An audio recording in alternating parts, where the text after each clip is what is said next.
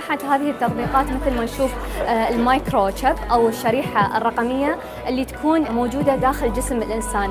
هذه الشريحة اليوم تحمل العديد من المعلومات الخاصة بهذا الشخص سواء المعلومات الصحية أو المالية أو الشخصية. من خلال هذه المعلومات أنا أقدر أعرف التاريخ الصحي لهذا الشخص.